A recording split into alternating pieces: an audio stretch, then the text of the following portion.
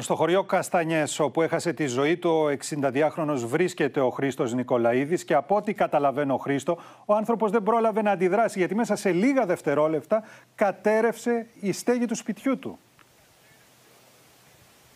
Ακριβώς όπως μας έλεγαν χαρακτηριστικά, Γιάννη, οι άντρες της ΕΜΑΚ που επιχείρησαν στο σημείο αυτό, τον βρήκαν ε, καθισμένο στο, στην πολυθρόνα του, ενώ προσπαθούν πάρει το, το βραδινό του, γιατί μπροστά του ακόμα υπήρχαν οι τροφές. Όπως βλέπετε στα πλάνα που σας στέλνει αυτή τη στιγμή ο Δημήτρης Σοτσιόπλο, ο συνάδελφος του Open, ε, πραγματικά μία ολόκληρη πλαγιά κατολίστησε και καταπλάκωσε το σπίτι του άτυχου 62χρονου, ενώ ο ίδιος ήταν στο εσωτερικό του και πιο συγκεκριμένα ε, στο καθιστικό του. Πρέπει να σας πω ότι στο σημείο αυτό από το απόγευμα της Πέμπτης και ειδικότερα το βράδυ της Παρασκευής είχαμε μια σφοδρότατη ε, βροχόπτωση με αποτέλεσμα οι δρόμοι του χωριού αλλά και πολλά σημεία από το δάσος να μετατραπούν σε ορμητικούς χυμάρους. Πραγματικά ε, αυτό το οποίο είδαν οι κάτοικοι εδώ στην ε, περιοχή δεν το έχουν ξαναδεί ε, τα τελευταία χρόνια. Ενώ ακόμα και η πρόσβαση στο χωριό ήταν εξαιρετικά δύσκολο. Είναι χαρακτηριστικό ότι ακόμη και οι άνδρες της ΕΜΑΚ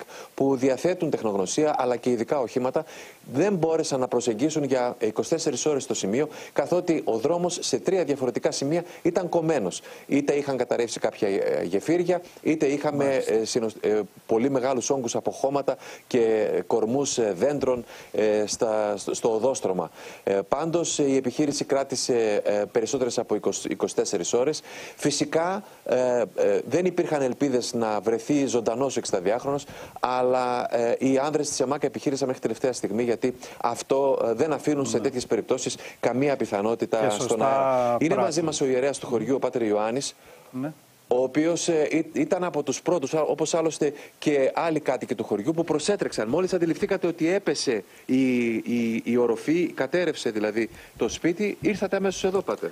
Με πήρε τηλέφωνο η γειτόνισσα και μου λέει: Παπαγιάννη δεν βρήκε κάποιον άλλον γιατί έβρεχε πάρα πολύ. Και μου λέει: Έλα κάτω, μας ε, πλαγώθηκε το σπίτι. Μένα έρχονταν ε, πολύ βροχή, έρχονταν από πάνω λάσπη. Ε, ήρθε ο πρόεδρος, μαζευτήκαμε ό, όσοι είμαστε στο χωριό. Ε, μαζευτήκαμε εδώ, δεν μπορούσαμε όμως να τον βγάλουμε τον άνθρωπο. Φωνάζαμε μήπως είναι τραυματισμένος, αυτά ανεβήκαμε πάνω και πάλι μας λέγανε να μην ανεβούμε γιατί είχε ρεύμα ε, το σπίτι. Δεν είχε, είχε, είχε, είχε μια παροχή ναι, της ΔΕΗ ναι, ναι. που φοβόσασταν με γύρι ηλεκτρονική. Βέβαια. Θα, και εκεί την ώρα που έβρεχε μπορούσαμε. Ε, ε, ανεβήκαμε όμως πάνω. Ο άνθρωπος, αφού τη στιγμή που δεν μίλαγε, δεν φώναζε, προσπαθήσαμε, ήταν εντελώς θαμένο. Φέραμε, η ΕΜΑΚ έφερε δύο μηχανήματα για να τον βγάλει. Mm -hmm. Ήταν, τι να πω, δεν. Δε. Υπήρξε, υπήρξε πολύ σφοδρή βροχόπτωση εκείνο το βράδυ. Αδερφέ, το πιο επικίνδυνο ήταν ότι την ώρα που ήμασταν εδώ επάνω δύο άτομα, οι υπόλοιποι από εδώ κοιτούσαν για να μην έρθει κάτω του βουνό.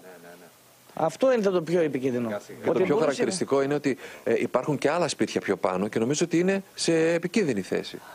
Ε, αυτό δεν έχει ξαναγίνει. Δεν έχει ξαναγίνει. Είναι η πρώτη φορά. Αυτό που έγινε τώρα είναι η πρώτη φορά. Στο χωριό και στην περιοχή. Τώρα που ξημέρωσε ο Θεός τη μέρα και είδαμε γύρω-γύρω που άνοιξε και σήμερα, είδαμε ότι όλη η περιοχή έχει κατηδηθεί. Παντού.